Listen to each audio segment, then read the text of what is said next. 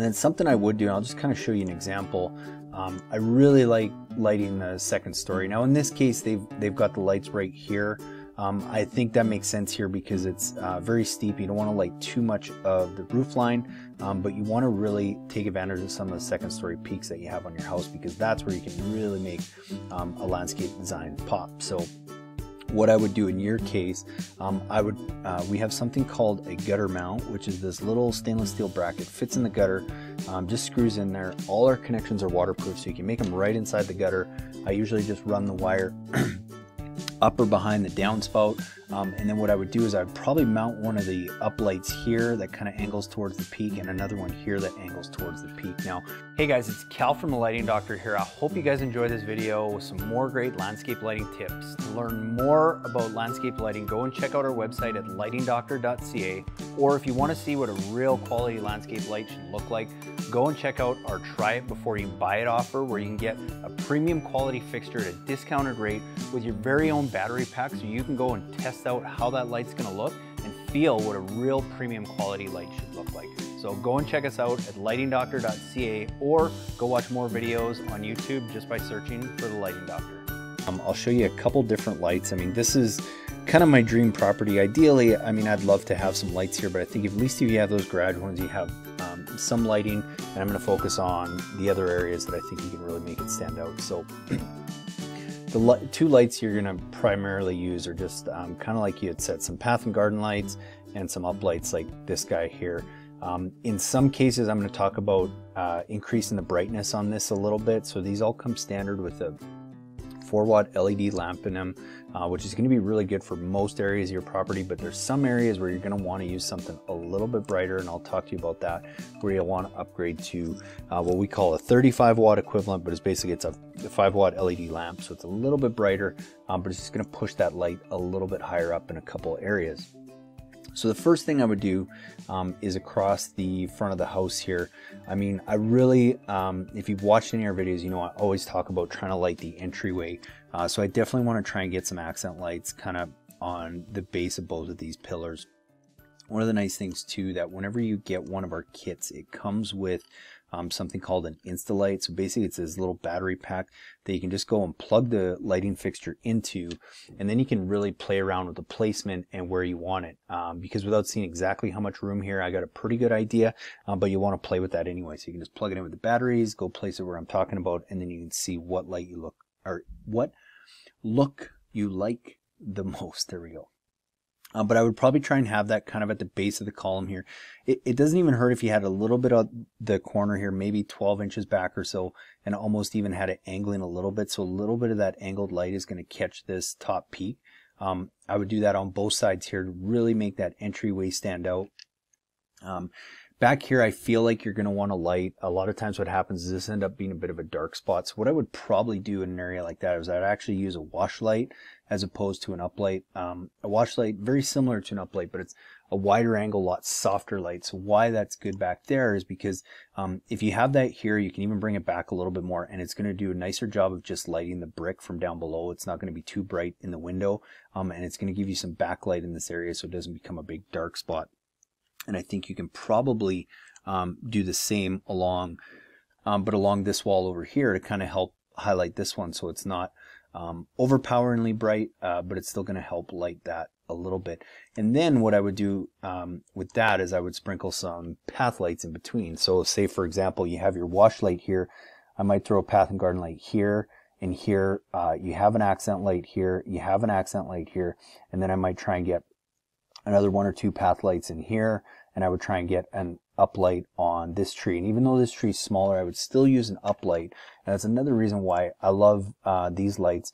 One, it's I honestly feel it's the best bang for your buck uh, when you feel the quality of this light. Uh, what you're paying for and what you're getting um, is phenomenal. But I like these as opposed to some of the integrated fixtures where they have like a board, a chip board built in. Because now, as that tree grows in the front, you can start out with a smaller bulb, but as it gets bigger, you can always increase um, the bulb. You can just put a bigger bulb in. So instead of having to go replace a fixture, you can just make that light brighter um, as your landscape grows. oh, pardon me. Um, so yeah, that's what I would do in the front area there. And then something I would do, and I'll just kind of show you an example. Um, I really like lighting the second story. Now in this case, they've they've got the lights right here.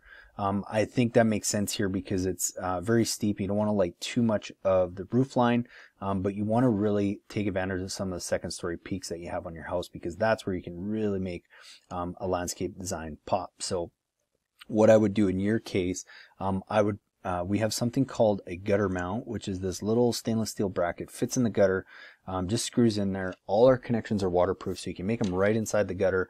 I usually just run the wire up or behind the downspout. Um, and then what I would do is I'd probably mount one of the uplights here that kind of angles towards the peak and another one here that angles towards the peak. Now, something to consider uh, on all the uplights you're going to use is you almost want them shining more upright than at the house. Um, and what that does, it produces a softer light, not as much, um, not as much of a hot spot. Um, so I'd probably have two of those there. And then on this window here, um, you could play with, I mean, in a perfect world, I'd probably have one on each corner that's kind of shining up on both sides here. Again, by having it a little bit more upright, it's going to get less of the shingles in the roof. Um, or you could just have one in the middle that's really more directed just at this top peak, uh, and that's going to do a nice job of lighting that. So you might have three of those lights to really make that section stand out. Um, and then that's going to uh, flow nicely as we go on to this side of the house where um, yeah, so on the side of the house here, it's where I still like, even though you have some uh, garden beds and stuff here, I still like trying to highlight the house as much as possible uh, in combination with some path lights because again, if I go back to this example, you can see how over here, even though it's just siding, by getting that light up to kind of the top peaks, um, especially around windows and, and uh, the white frames and stuff really stand out. So that's why I like still using some uplights but with a combination of some path lighting in an area like this. And you can see here how it's a, it's a good contrast between some uplighting on some structures and then some path lighting kind of in between. So it'd be very similar um, on your house. So what I would do over here is again, I would probably look at, um, I would have an uplight here for sure in the middle. This is where I would increase that um, beam intensity to that 35 watt equivalent. So I'm kind of getting light all the way to this top peak. Um, it depends how much you like that um, that look. I would definitely have one here. I would almost have three along uh, this side of the wall, but I think at least one in the middle. Um, I would probably have another one over here kind of between the windows that really make this window frame stand out. And then I think if you had one here and then you had probably another one over here that kind of highlights this section, um, that would do a really nice job. And then I would use those path and garden lights in between where I have my uplights. So again, you have this lit, so I might have a path and garden light in here. I might have another one here. I might have two in here.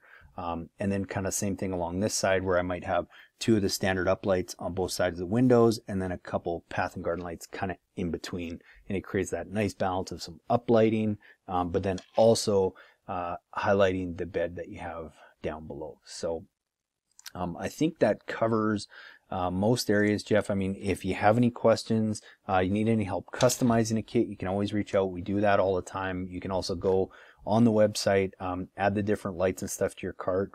A system like that, that size, um, you could easily just fit it on a transformer kit like this. Uh, comes with a transformer wire, all your connections. Um, you can always go and add the gutter mounts as well um, and play around. Uh, again, use the coupon code to get some extra discounts here for the next couple days. But if you want us to just kind of customize based on those suggestions or let us know what you liked and what you didn't like, we can put something together for you. Uh, and that always works well too. And uh, yeah, if you have any other questions yet, please feel free to reach out and I'm happy to help.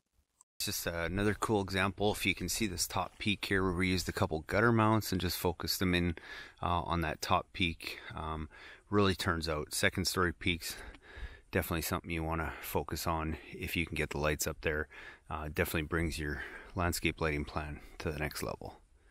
Hey guys, I really hope you enjoyed that video presentation with some great tips and tools on how to go and properly and effectively light up your landscape.